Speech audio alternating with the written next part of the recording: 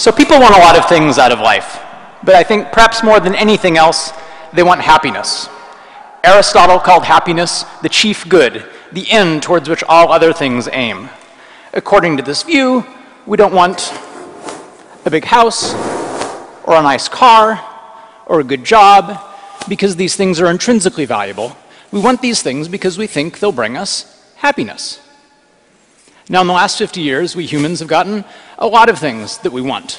We're richer, we live longer, we have access to technology that would have seemed like science fiction just a few years ago.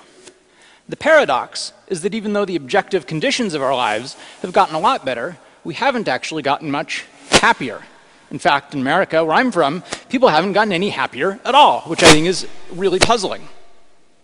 Maybe because these conventional notions of progress haven't delivered big benefits in terms of happiness, there's been a recent uh, increasing interest in recent years in happiness itself.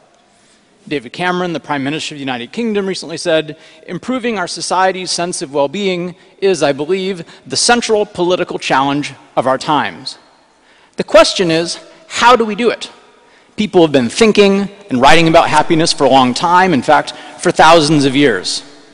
If you came up with 10 smart ideas about happiness, I bet at least nine of them would be something somebody's already thought of. The problem isn't a lack of ideas, it's the inability to determine which of those ideas are right and which of those ideas are wrong. I think you can see that in the self-help industry as well. People have written lots of books offering recipes for happiness. Some of them are surely right, some of them are probably wrong, but we don't have a good way to figure out which are which. If we just rely on our intuition, or we rely on listening to the voice that's the most charismatic, it's not clear that we'll make much progress. I think science offers us a way out of this problem. Science is slow, it can be painstaking, tedious at times, but over time, science reveals the truth. Now, the thing about science is, in order to study something, you have to be able to measure it. And for a long time, people thought measuring happiness was impossible. We now know that's wrong. In fact, the most effective way we've discovered so far to measure happiness isn't to scan somebody's brain or to put sensors on their body. It's simply to ask people how happy they think they are.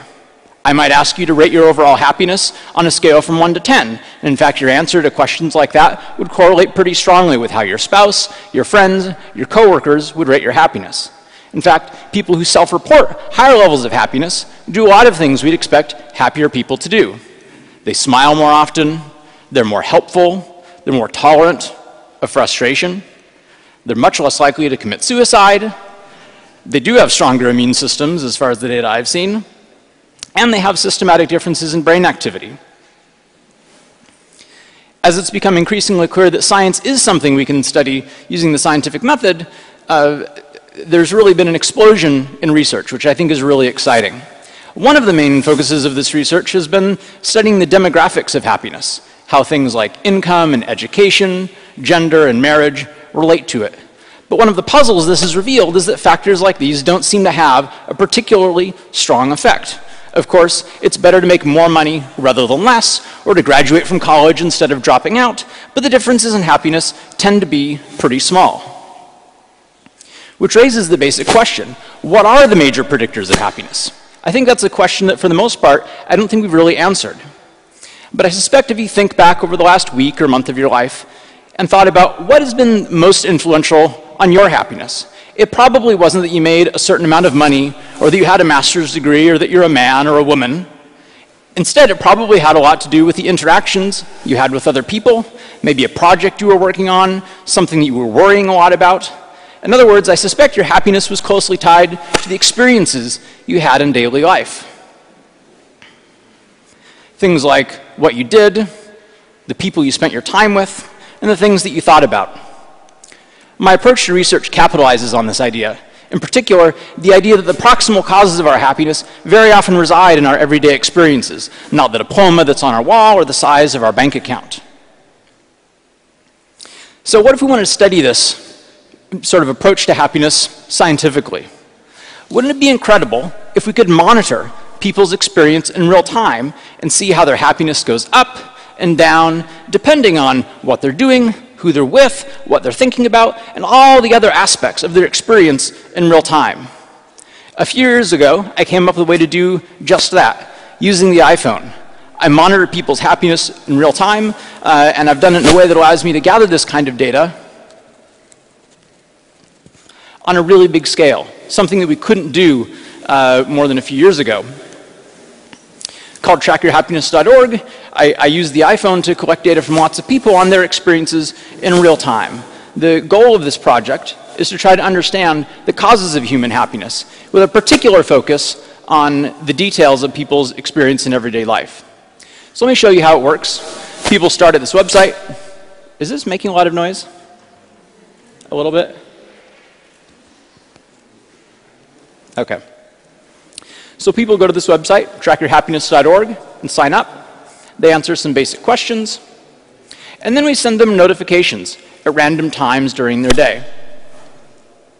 The reason we want to choose those times randomly is we want to try to get a random sample from all of their different kinds of experiences. So people get these notifications at random times during their day, and they answer a series of questions about their experiences at the moment just before the notification. For example, they might tell me how they feel on a scale ranging from very bad to very good. This is our main measure of happiness, although we have a lot of others as well. We may ask people where they are at home, at work, in the car, someplace else, whether they're alone, whether they're talking or interacting with other people, how many people they're interacting or talking with, which people those are, how productive they are, what they're doing on a list of activities, including things like eating, watching TV, working, exercising. And if they're doing more than one thing, which of those is their primary activity? Now, this is just a sampling of the kinds of things that we study with this method, but I think it gives you a taste of the sorts of things we're able to measure. Now, I think the great thing about this project is that it's not just a way for us to improve our scientific understanding of happiness, it's also a way to give people personalized insight into the predictors of their own happiness. We give everyone who uses trackyourhappiness.org something we call a happiness report. This shows the relationship between their happiness and a wide variety of different variables. What you do, where you are, who you're with, how focused you are, how much you slept last night, how productive you are, a whole bunch of different variables. The idea is that by systematically tracking your happiness in relation to all these other variables, you can see what are the things that's really moving your happiness around and what are the kinds of situations where you're most and least happy. This can deliver some surprising insights. So, it, in my case, one of the things that surprised me the most is that my happiness seems to be unrelated to how much I sleep. Uh, I know that when I get, you know, four hours of sleep at night, I'm really tired. Apparently, I'm not any less happy. We've been really fortunate with this project to get quite a bit of press coverage. Uh, all the major Newton's news networks in the US, radio, uh, newspapers, magazines in the US and around the world. And that's generated a lot of data. In fact, really a lot of data. Over 650,000 real time reports from people's experience from more than 15,000 people. It's not only a lot of people, but it's a diverse group of people a wide range in age and income and education and marital status and all these other aspects of, of people. They come from every one of 86 different occupational categories and hail from over 80 countries. Together, this has generated just a huge and really exciting database of people's happiness and other details of experience as they report it in real time. Although it's still early in the life of this project, this data has generated some surprising insights. And today I'd like to talk to you about one of the things that we've been really focused on, which is mind wandering. So human beings have this unique ability to leave the present or to mind wander. Some research suggests this is the brain's default mode of operation. Our ability to focus on things other than the present allows us to learn and plan and reason. We don't know much about our use of this ability and its relationship to happiness. Part of the reason is that it's hard to measure this. People often mind wander without realizing it. So I can't just ask them how much you mind wandered yesterday or last week or last month because people actually don't know. They can't give you an accurate answer. We need to be able to catch them in the act, which is exactly what this platform allows me to do. So today I want to show you some data derived from people's answers to three questions. First, a happiness question. How do you feel on a scale ranging from very bad to very good? Second, what are you doing on a list of 22 different activities, including things like working, eating, and watching TV? And finally, are you thinking about something other than what you're doing? You could say no, in other words, I'm focused only on what I'm doing, Or, yes, I am thinking about something else, and the topic of those thoughts are pleasant, neutral, or unpleasant. Any of those yes responses are what we called mind wandering. So, what did we find? I think there were two distinct possibilities, and both of them seemed plausible beforehand. On one hand, people have been uh, suggesting to us for a long time that we should remain in the present, focus on the moment, be here now. You've probably heard that about a hundred times. Maybe these people are right. Maybe mind wandering reduces our happiness. On the other hand, when we allow our minds to wander, they're unconstrained. They can go anywhere. We can't change the physical reality in front of us, but we can go anywhere in our minds. It seems logical that because people want happiness and that their mind wandering is unconstrained, they would choose to go to some place that's happier than the place that they're leaving. Maybe the pleasures of the, of the mind allow us to increase our happiness through mind wandering. So, which is it? As it turns out, people are substantially less happy when they're mind wandering than when they're not. This graph shows happiness on the vertical axis, and you can see on the right side, when people are mind wandering, their happiness was substantially lower. In fact, a lot lower than a lot of other things that you might think are important for happiness. Now, you might imagine that even if mind wandering is associated with lower happiness on average, surely people are happier when they're mind wandering away from something that isn't very enjoyable. In fact, that turns out not to be the case. No matter what people are doing, even the least enjoyable things, they're less happy when they're mind wandering than when they're not. For example, people don't really enjoy their commute to work very much, but it turns out they're still considerably happier when they're just focused on their commute than when their mind is off thinking about something else. But we didn't just ask people whether they were mind wandering, we also asked about the valence of those thoughts. This graph shows you how happiness varies depending on whether the topic of those thoughts is unpleasant, neutral, or pleasant, or whether people weren't mind wandering at all. As you can see, a big part of the reason that mind wandering is associated with less happiness is because of that category, unpleasant mind wandering, that really short bar. When people were worrying, you know, anxious about something, maybe thinking about something they regret, happiness is dramatically lower. I think that's the single biggest difference in happiness I've seen in this entire data set. But it's not just when people are thinking about unpleasant things. You'll notice the neutral bar is still considerably lower than when people are, aren't mind wandering. In fact, even when people are thinking about something pleasant, they're still a little bit less happy than when they aren't mind wandering. If mind wandering were a slot machine, it'd be like having the chance to lose $50, $20, or $1 and never win, right? You'd never play. I've been talking about mind wandering and happiness as if mind wandering causes unhappiness, but all I've really shown you is that these two things are correlated, right? What's going on?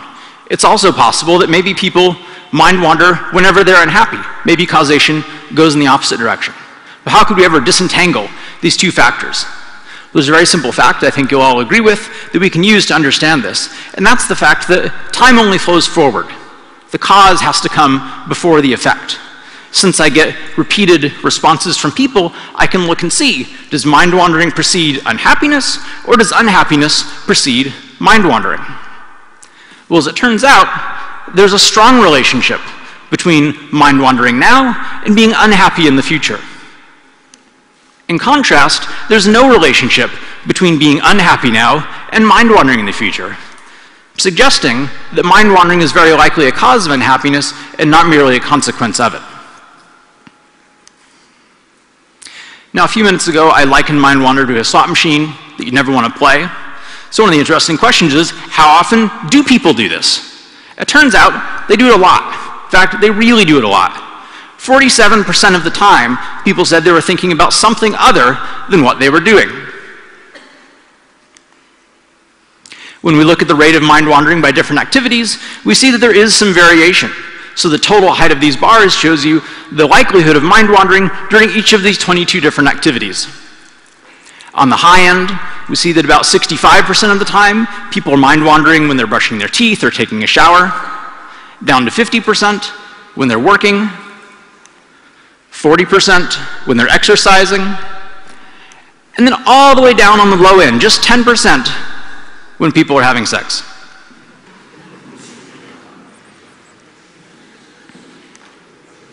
So this graph has a lot of information, but I want to call your attention to two facts. One is that the rate of mind wandering for virtually every activity is above 30%. That's what that black line is showing you, which I think suggests that mind wandering is just something that's frequent. It's ubiquitous. It pervades all of our experiences. Probably some of you are mind wandering right now, and I won't hold it against you. The other thing that I want to point out has to do with the valence of mind wandering.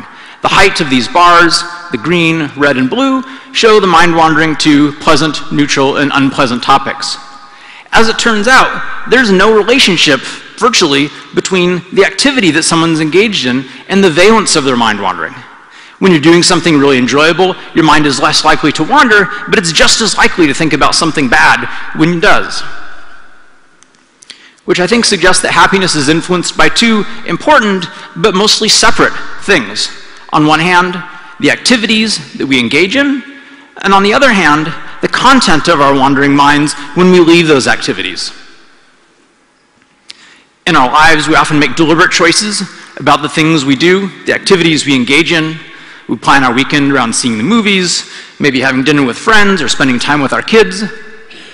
But we don't often make a deliberate choice about mind wandering, about whether to let our minds wander, what to think, where to let our mind go. Yet these data suggest that this might have a powerful influence on happiness.